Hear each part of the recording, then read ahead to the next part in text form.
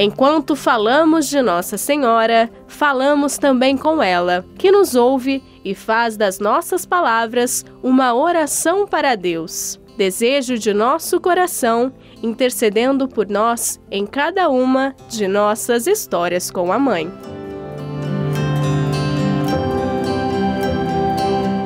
Viemos trazer o nosso milagre, que é a Milena.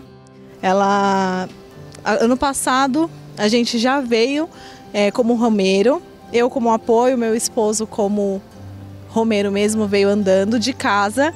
E a gente também veio ano passado agradecer um milagre.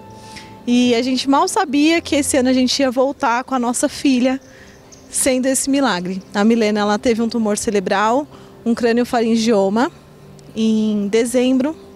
Ela fez a cirurgia em janeiro, no dia 26 e ficou em coma por 30, 33 dias. A gente ficou alguns meses no hospital e a Milena foi totalmente desenganada.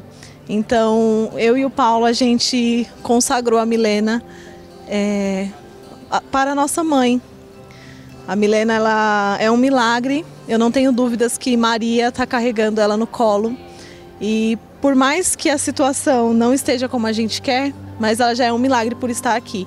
Então a gente veio esse ano para agradecer a nossa mãe Maria por esse milagre.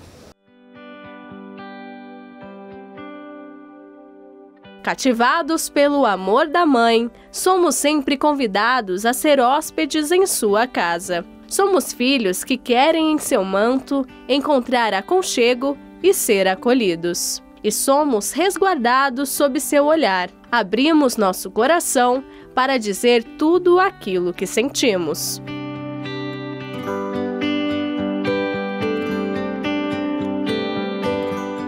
A experiência é, é algo inesquecível. Só quem passa mesmo sabe como que é esses dias caminhando, é, passando por sol, por chuva.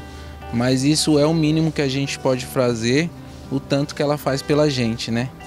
É, Teve uma frase que, que a gente, ano passado, alguém, uma moça falou pra gente que sem apoio não existe Romero.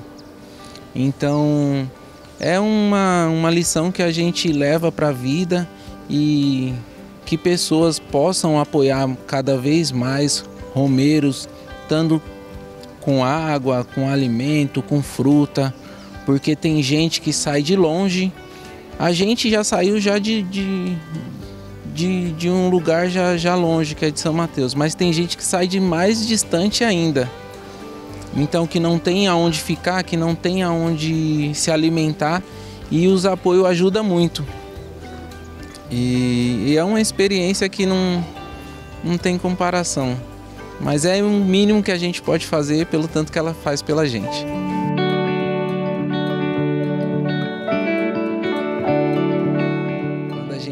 Chega aqui, os olhos já começam a lagrimejar.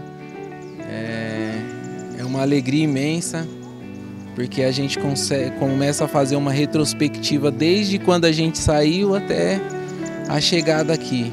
Então, é só quem quem está andando, quem está que sente mesmo. É, quando você chega aqui, as dor, tudo começa a passar.